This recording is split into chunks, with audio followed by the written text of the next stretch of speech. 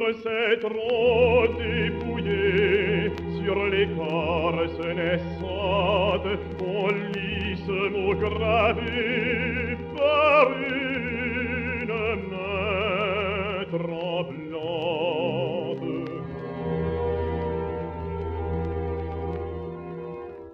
Euridée, n'est plus, et je respire encore, Dieu prend de lui